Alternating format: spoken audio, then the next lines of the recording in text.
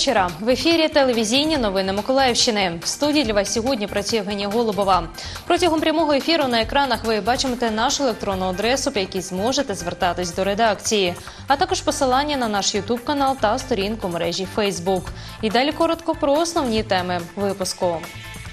В Очакові співробітники Служби безпеки України припинили діяльність агентурної мережі, яка працювала на розвідку Російської Федерації. Миколаєві закінчили реконструкцію сімейної амбулаторії номер 4 Будівельні роботи тривали майже три роки. Від сьогодні в усіх школах та садочках Миколаєва стартував всеукраїнський проект Шкільний офіцер поліції. Тож про ці та інші події більш докладно. В Очакові співробітники Служби безпеки України пропонили діяльність агентурної мережі, яка працювала на розвідку Російської Федерації. Про це на брифінгу повідомив представник департаменту контррозвідки СБУ Володимир Настюк. Черговим результатом цієї роботи стало викриття та припинення протиправної діяльності агентурної мережі російської воєнної розвідки на території Миколаївської області. Операція була проведена під процесуальним керівництвом головної військової прокуратури. Зокрема, 20 грудня цього року було затримано її керівника, громадянина України 1961 року народження, капітана першого рангу Збройних сил України у запасі, який також має російське громадянство. Встановлено, що він був завербований кадровим співробітником головного управління Генштабу ЗСРФ у місті Севастополь та неодноразово виїжджав до анексованого Криму для проведення агентурних зустрічей. За завданням російської спецслужби, колишній старший морський офіцер та його посібники здійснювали збір і передачу інформації з обмеженим доступом про функціонування підрозділів військових на території Очаківського гарнізону Миколаївської області, а також їх залучення до проведення операції об'єднаних сил на території на сході України. Останнє завдання від російських кураторів полягало у створенні та подальшому керівництві на території Очаківського району підпілля для проведення різного роду заходів з дестабілізації ситуації у регіоні. За місцем проживання чоловіка правоохоронці вилучили засоби зв'язку з російськими розвідниками, комп'ютерну техніку, електронні накопичувачі інформації, на яких обробляли зібрані відомості, а також секретні документальні матеріали. З 2014 року був завербований в обмін на предоставлений мені російський паспорт. Я перевищив міру допустимого, визнаю свою провину і буду співпрацювати зі слідством.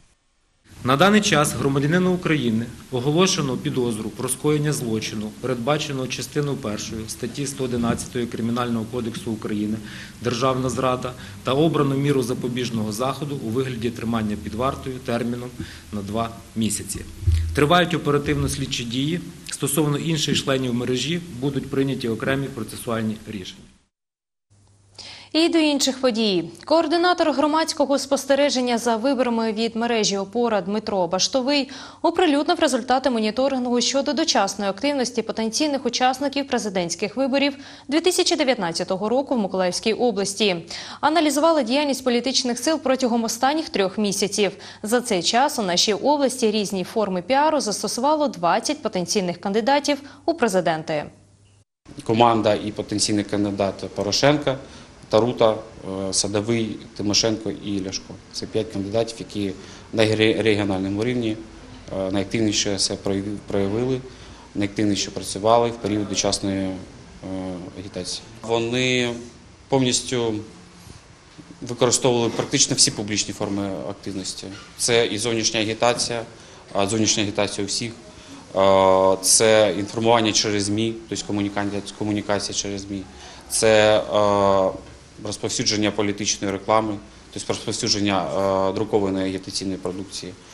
Е, Навіть може не агітаційної, а взагалі просто політичної продукції.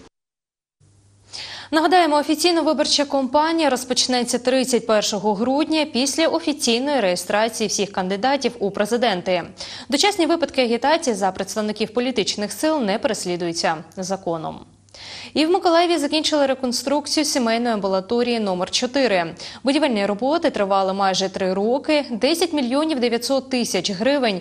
У таку суму обійшовся відремонтований медичний заклад міському бюджету. Чкалова 93. Від сьогодні 18 тисяч городян зможуть отримувати тут медичні послуги. Я обслуживалась в третьей поликлинике.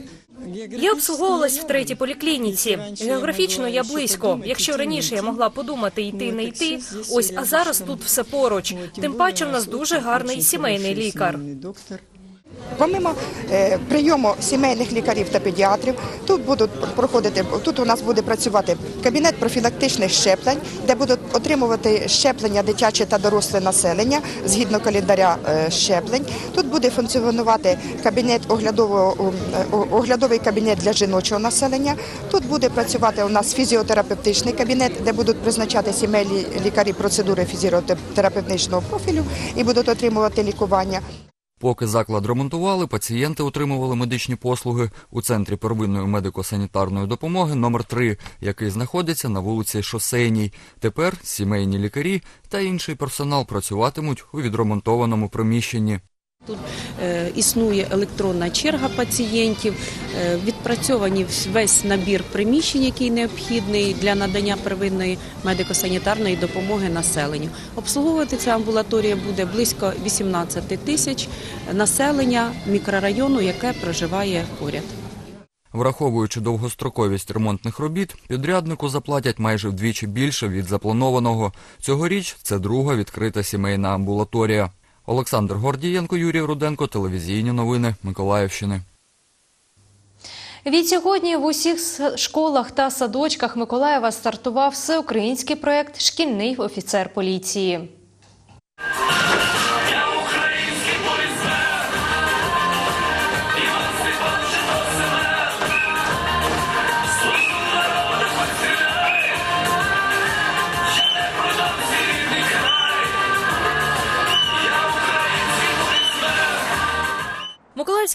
Загальноосвітній школі номер 51 відбулось відкриття. Запросили всіх чотирьох шкільних офіцерів поліції. Серед них Юлія Рябокінь. Розповідає, цей проект допоможе дітям зрозуміти, що поліцейські допоможуть у будь-якій ситуації. Е, Модель е, шкільний офіцер поліції є однією з прикладів ефективної співпраці поліції і громади для того, щоб е, створити безпечне середовище серед учнів навчальних закладів. Ми також бу- будемо проводити різноманітні лекції, профілактичні бесіди на дуже велику дуже велика кількість цих тем. Це все буде проходити в ігровій формі, з завданнями. Все буде в інтер- інтерактивній такій програ- програмі, інтерактивній програмі. Для того, щоб всі розуміли, що поліція це не каральний орган, це є друзі, допомога, наставники. Всі шкільні офіцери поліції проходять спеціальну підготовку, підвищують рівень кваліфікації, а також мають навички психологів. Адже спілкування з дітьми у них в пріоритеті. Протягом двох років ми працювали над проектом Шкільний офіцер поліції. Е, В даному моменті до нового року буде запущено майже по всій Україні, там де є патрульна поліція, буде шкільний офіцер поліції. В місті Миколаєві буде працювати чотири шкільних офіцера поліції, які будуть закріплені за районами, будуть працювати з дитсадків, навчальних закладів, школ е, вищих навчальних закладів, а також навіть е, в автошколах. Буде затверджено певний е, план заходів, який буде потім доведено до відома кожному директору в школах, кожному ліцею. Йде буде такий певний розпорядок, коли будуть навідуватися шкільні офіцери поліції, будуть також позапланово приходити на будь-які там свята. Е, Можливо, спілкуватись додатково будуть спілкуватись з батьками на будь-яких там батьківських зборах. І можливо, якщо цікаво будь-якого батька певна інформація щодо дитини або щодо певної події, то будуть давати кваліфіковану відповідь. 15-річний Дмитро Дрюк навчається у 9 класі Миколаївської загальноосвітньої школи номер 51. Говорить, такий проект важливий для дітей. Я надіюсь, діти зрозуміють, що поліцейських не треба боятися. Їм можна довіряти. Вони добрі люди, які допоможуть у скоротну хвилину. Співробітники говорять, хочуть збільшити відділ до 10 чоловік, аби додатково виїжджати в область. Євгенія Голубова, Юлія Кускова, телевізійні новини Миколаївщини. І сьогодні у Миколаєві нагородили спортивних журналістів. За підсумками 15-го конкурсу Миколаївщина Олімпійська 2018 та першого етапу конкурсу Україна Олімпійська 2018 члени журі визначили видання та журналістів, які найкраще висвітлюють спортивне життя Миколаївщини. Нагородою отримали газета Ніколаївські новості, інтернет-видання Інше ТВ, а також Миколаївська філія Національної суспільної телерадіокомпанії України. Хочеться сказати вам найтепліші слова подячності за вашу роботу, адже ми, представники галузі фізичної культури і спорту, дуже вдячні вам за те, що ви висвітлюєте нашу, скажімо так, нелегку працю, наші здобутки в галузі спорту. І самі власним прикладом е, сприяєте популяризації розвитку масового спорту, так і спорту вищих досягнень у нас на Миколаївщині. На базі басейну водолій комплексна дитячо-юнацька спортивна школа Україна презентувала три трампліни, які придбали за рахунок проекту Громадський бюджет 2018 Проект від нових трамплінів до стрибків у воду до олімпійських медалей для рідного Миколаєва посів друге місце у конкурсі проєктів. За кошти проекту Громадський бюджет 2018 міста Миколаєва для школи придбали три трампліни. Вартість одного 290 тисяч гривень. Это трамплины, э, которые используются Це трампліни, які використовують єдині в світі сертифіковані трампліни, які використовуються на Олімпійських іграх. Тетяна Гуменюк одна із тих, хто працював над проектом від нових трамплінів до стрибків у воду до олімпійських медалей для рідного Миколаєва. Для спортивной школы очень важно. Для спортивної школи дуже важливо не тільки наявність спортивної бази, але і наявність безпосередньо технічних засобів, за допомогою яких спортсмени тренуються. На заході вихованці школи демонструють вміння, яких навчилися за рік занять. Профілі школи стрибки у воду, плавання та синхронне плавання.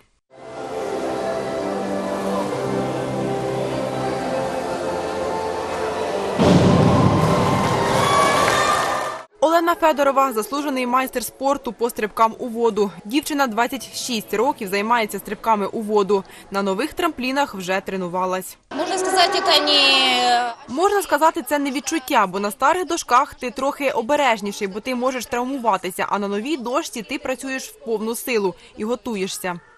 Данилу Коноволовому 15 років. Стрибками у воду займається 5 років. Говорить, нові дошки пружніші ніж старі.